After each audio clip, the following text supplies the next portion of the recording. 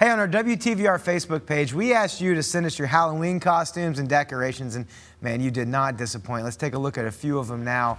This is Delivery Dogs uh, and our own Caroline Colburn, you see right there. Joe Valdez, our news flash photojournalist. Football Zombie is from Christy Bocher.